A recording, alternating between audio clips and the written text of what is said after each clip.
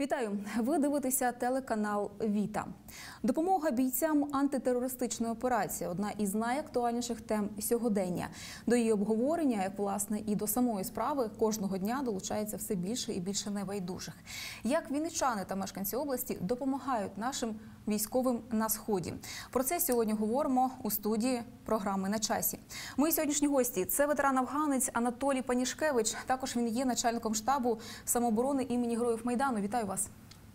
А також про останні події на сході ми маємо можливість почути, як то кажуть, із перших вуст від е, командира взводу 95-ї окремої аеромобільної бригади Володимира Мацнєва. Вітаю вас, панове. Добрый день. Отже, чи потрібна українським бійцям допомога самих українців? Так, це безапеляційна відповідь однієї з матерів, які відправляють своїх синів на схід. Тож пропоную без зайвих коментарів послухати Тамару Басенко.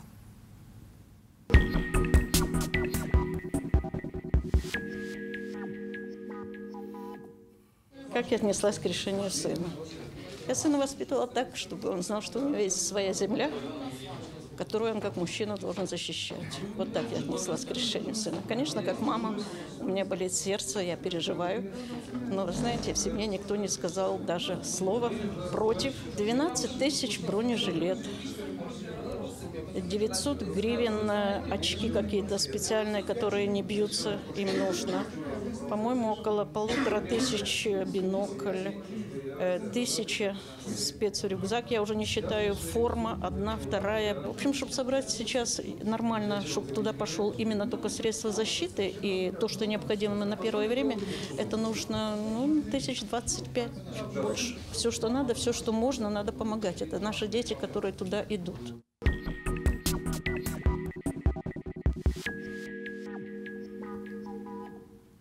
Отже, це була Тамара Басенко, мати одного з бійців, який добровільно вирішив долучитися до антитерористичної операції на сході. Власне, пане Володимире, запитання до вас, оскільки ви повернулися звідти, чи дійсно от настільки критична ситуація у плані забезпечення наших військових усім необхідним? Невже кожна родина свого бійця має отак, от споряж... Невже цього не може забезпечити наше міністерство оборони?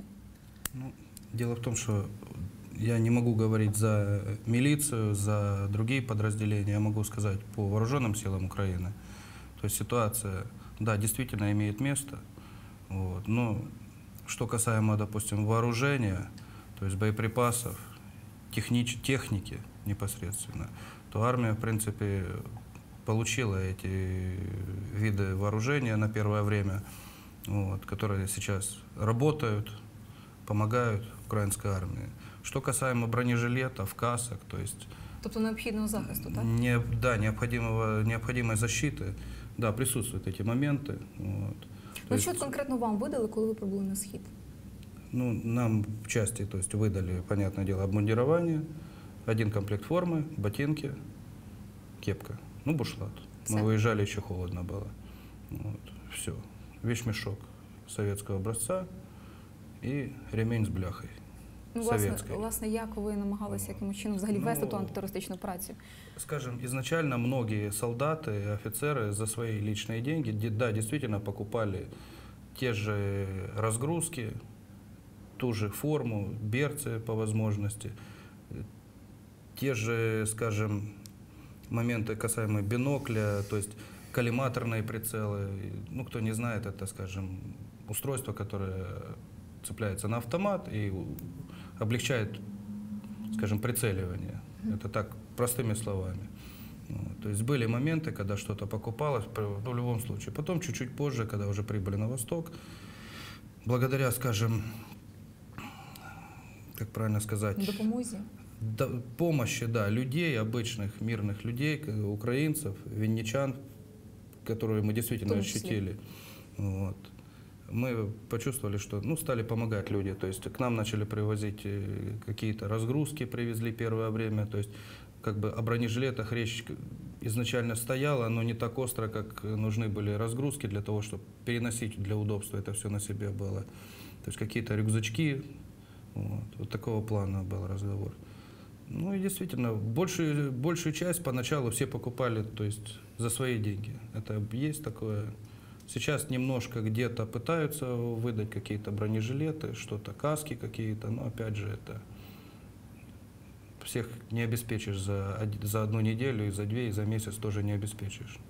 Пане Анатолію, е, ви людина, яка власне акумулює і розподіляє, точніше, одна з тих е, людей, ті організації акумулює і розподіляє гроші, які е, наші вінничани жертвують на потреби наших військових. Власне, наскільки сьогодні дійсно вінничани, мешканці області, вони активні, вони готові допомагати? Ви знаєте, я вам так скажу. Ми цим займаємося вже давно, наша народна самооборона імені Героїв Майдана. І коли от хлопці їхали з 95-ї аеромобільної, це перше було ще був березень місяць, не, не да, березень місяць. І коли я їм позвонив, вони говорять, що немає води, ї, ну, якби їда теж не дуже добра. е, Спимо на землі, і ми отак зібралися своїми хлопцями, афганці, ветерани Афганістану, ветерани спецназ, ветерани ВДВ. І ми пішли по своїх друзях збирати гроші, так скажемо, реально. Люди відгукнулись дуже добре. От я можу зараз подякувати всім вінничанам, е, жителям Вінниці, Вінницької області, що люди дійсно допомогли. Ну я навіть не думав, що так воно буде. Зараз ми знову ж е, зробили е, завдяки міській раді таку благодійну ініціативу захист та розвиток Вінниччини. От тут є рахунок, і ми, якби так скажемо, два дні як родилися, але нам вже на рахунок зараз. е, Ну, на сьогоднішній день нас вже є 11 тисяч 346 гривень. І Це за скільки мені- днів було зібрано? Це ми ну, два дня. За два дні. так доволі Да, активні. да, люди. дуже навіть активні люди. Але знаєте, є ще такий момент, коли от сьогодні насправді дуже багато є е, можливостей відправляти смс, відправляти також різного роду рахунки, є, куди люди можуть е, направляти гроші саме для потреб армії. Але е, все більше і більше чуємо таких думок, коли люди, о, та от я не бачу, да, все ж таки наші бійці потребують якихось амуніцій і так далі. Люди не вірять у цільове використання цих коштів. Чи можете ви якось гарантувати, наприклад, що ці гроші підуть саме по Ми можемо гарантувати. Е, Чому? Тому що люди мене в Вінниці знають не перший день. І люди тоді, коли давали гроші, я, в принципі, перед всіма відчитався, так можна сказати. Е, І, наприклад, зараз теж от, е, в нас є спостережна, спостережувальна рада, яка буде теж за цим слідкуватися е, на чолі духовенства.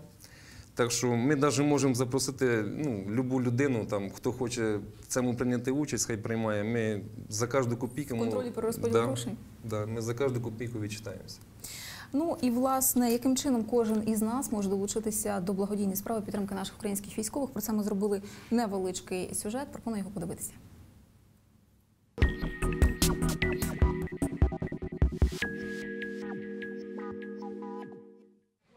Півсотні бійців батальйону Вінниця найближчим часом мають відправитись на схід. Їм пообіцяли, видадуть амуніцію на місці призначення. Бійці, які вже повернулись з гарячих точок, розповідають не те, що спецзасобів не вистачає елементарних речей води, їжі, ліків та одягу. На горячую точку, когда мы пришли, первое время у нас не было ни воды, ни, по- то есть именно абсолютно не было. Это, то, это тоже, то есть обеспечение как бы на уровне ноль, нехватка всего абсолютно полностью. Щоб підтримати наших бійців, небайдужі створили сайт Захист та розвиток Вінничини. На ньому розміщено банківський рахунок, куди можна перерахувати благодійні внески. Процедура абсолютно прозора. У розділі фінансова звітність людина може побачити, скільки і на які потреби пішли її гроші. Ці кошти будуть е, направлені е, і будуть розподілятися безпосередньо е, громадською Вінницькою громадською обласною організацією самооборони імені Героїв Майдан, які безпосередньо щоденно мають зв'язок з хлопцями, які знаходяться в зоні бойових дій. І ці виключно ці хлопці, які пройшли війну, будуть нести відповідальність і будуть е, самі визначати, що необхідно. У них є контакт з батальйоном Вінниця, у них є контакт сьогодні з хлопцями, які з Вінницької області беруть участь у військових діях. Поміч отримає і Вінницький спецпідрозділ Ягуар. На зібрані гроші допомагатимуть амуніцією та спецзасобами. Не залишаться осторонь і наші земляки, які отримали поранення в ході проведення АТО, а також сім'ї загиблих у гарячих точках. Доречна буде і будь-яка інша, окрім фінансової допомога, говорять координатори благодійної ініціативи. Було б лише бажання. У кого воно є, можуть звертатись на сайт захист.vn.ua.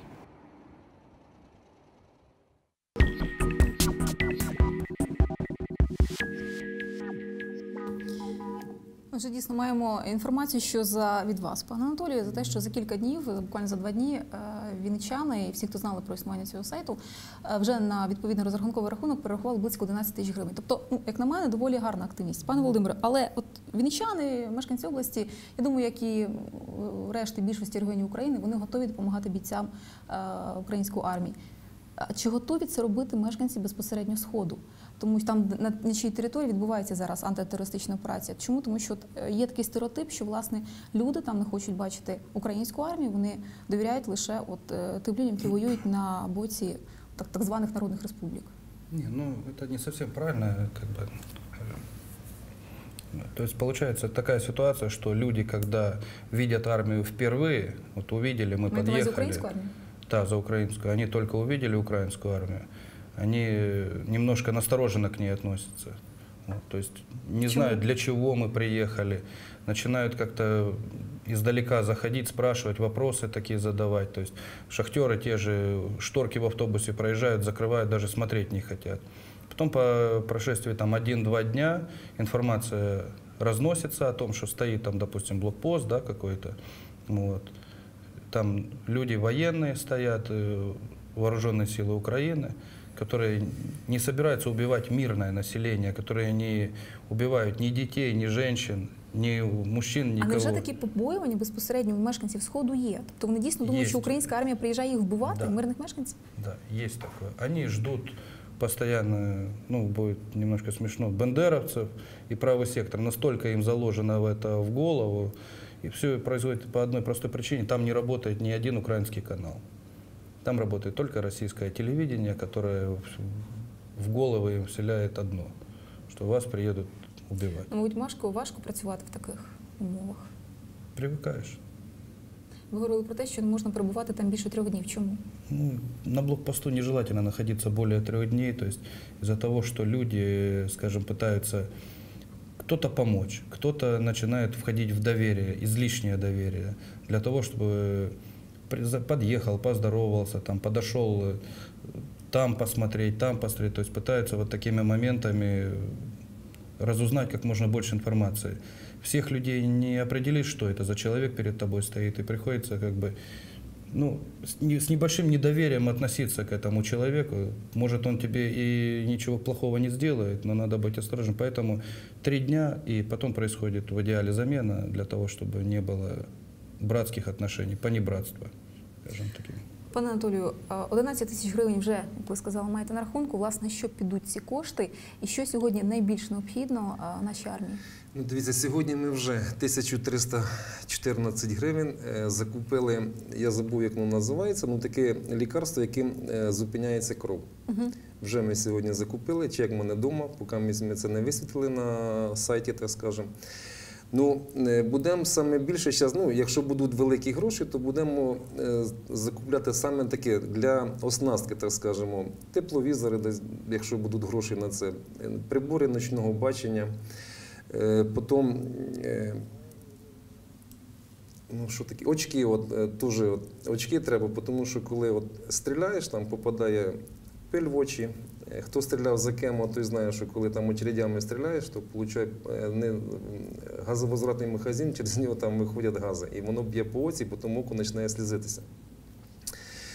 Е, Потім, дасть Бог, будемо брати е, бронежилети, там, хорошого захисту 5, 4, 6, в залежності, де ми знайдемо, яка ціна буде. Ківарові е, каски, які зараз теж дуже необхідні армії, тому що теж різний захист там є. Є такі каски навіть зараз, що там і АКМ її не бере, так скажемо. Ну, от все будемо робити для того, щоб наша армія нормально воювала, так Ну, скажемо. ну, я так розумію, не лише, скажімо, да, грошима матеріально, ви ще й, можна сказати, власними руками допомагаєте. Ну, власними. Да? Що в нас на столі знаходиться? Ну, це парплет для поствольного гранатомета. Тут він е, на 10 гранат. Це ми були коли на похоронах, коли в Бердичеві загинув старший лейтенант, командир взводу. Ми були, на, наші хлопці були звідти з 95-ї аеромобільної. Вони мені дали російський зразок. І ми його доробили. Ми там на зак- ну, воно було на закльопках, так скажемо. Е, Ми зробили на ліпучки. Потім е, воно було через плечі, і там такий був тренчик, так скажемо, по ремінськ, який вокруг, ну, вокруг талі, так скажемо, за- засібався. Ми його зробили на ремінь, і от обхват ноги. І скільки ми вже, ми вже штук 40 їх передали, пошили, передали. Зараз нас нова, теж нам позвонили звідти, що от на ліву ногу ми робимо ось такі е, під магазин, під два магазини по 45 патронів, от такі підсумки. Теж він ну, з клапаном і кругом лівої ноги воно буде. Це такі, ну, якби самі розробляємо, щось десь доробляємо, і от така ситуація. Але я знаю, що можливо навіть на потребах сьогоднішніх на сьогоднішніх потребах армії деякі спекулюють. Я знаю, була історія із бронежилетами, коли е, за бронежилети видавали просто ну абсолютно некорисні речі. Ну, ви ж бачите, в нас же ж такий народ. е, Хтось хоче допомогти, хтось хоче заробити. Ну, це така правда, вона є, є, була і буде, розумієте? Так що. Пане Володимире, е, в сюжеті говорилося про те, що е, власне бійцям на сході потрібна будь-яка допомога. Я так розумію, що мова йде і про можливу якусь підтримку, моральний дух. Чи дійсно вона потрібна вам зараз там? Ну, знаете, в первую очередь, вот, когда получаешь любую передачу с, с- с мирной земли, я так это наз- мы называли, с большой земли, то есть э, просто знак внимания о том, что за нас там знают, переживают, уже поднимает моральный дух. Вот. Ну и когда приходит э, любая помощь, любая, это никто не говорит, что это какие-то должны быть последние образцы вооружения там, или чего-либо.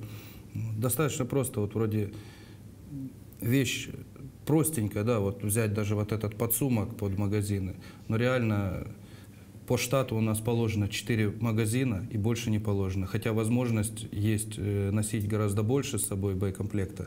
То есть вот благодаря вот этой сумочке Дійсно, вона комусь може врятувати она життя. очень может спасти, да, и жизнь может спасти, и, скажем, чем больше ты взял с собой патронов, тем больше ты проживешь.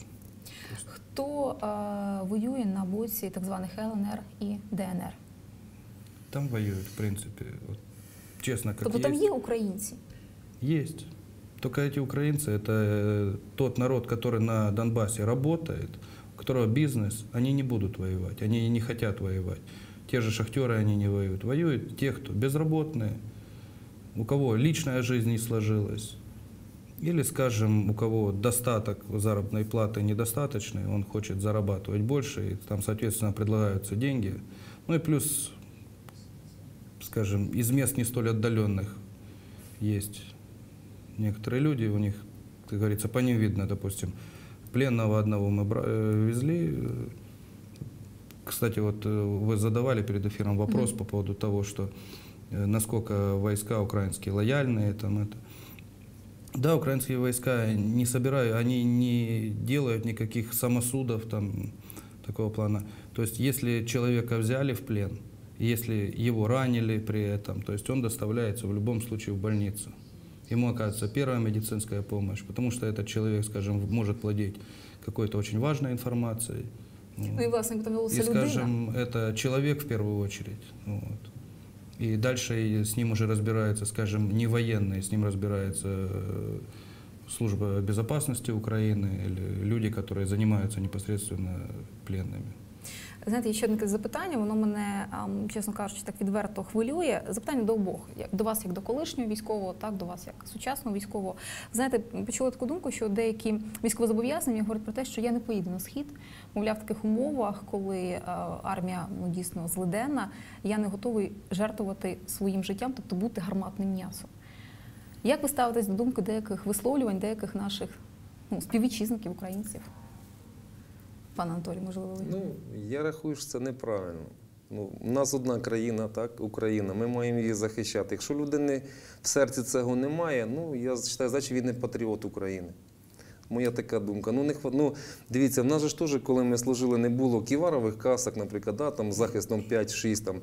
У нас були армійські бронежилети, який важив 17 кілограм. Він був нелегкий, там. його носили, колись не носили, так скажемо. Але ми всі виконували свій обов'язок. Бо ми дали перед цим присягу, і ми її не могли, не могли порушити просто. Я цього не розумію. Знаете, Пон- есть в этом вопросе тоже ряд проблем, которые возникают в этих случаях. Где-то это, согласен на 100% с Анатолием, это не патриоты Украины. То есть если ты живешь на Украине, ты обязан защищать свою родину, свою семью. Многие люди просто думают, что их это не коснется. Если бы не военные сейчас люди на Востоке, то, то не исключен факт, что через неделю или через месяц это все перешло бы даже в Винницкую область. Но был ряд проблем, с которыми сталкивались. Это кредиты, это маленькие заработные платы у родителей или кормильца семьи. Есть ряд людей, которые действительно, скажем, простым словом, косят от армии, от того, чтобы защищать э, свою Украину. Для того, щоб можливо просто забезпечити життя своєї родини. Да, да, это будет более правильно. Панове, я вам дякую за спілкування, дякую за ваш час. На жаль, наш час вже добігає до кінця. Е, Нагадаю, що ми сьогодні спілкувалися із Анатолієм Панішкевичем. Це начальник штабу самооборони імені е, Героїв Майдану. Також це людина, яка займається безпосередньо збором і перерозподілом е, пожертвованих грошей на потреби нашої армії. А також е, спілкувалися з командиром зводу 95-ї окремої аеромобільної бригади Володимиром е, Мацнєвим. Він нещодавно повернувся зі сходу. Можу сказати лише одне: давайте підтримувати наших військових. Чим можемо? Хто грошима, хто продуктами харчування, хто добрим словом. Дякую, що ви були з нами. Залишайтеся ще побачимось.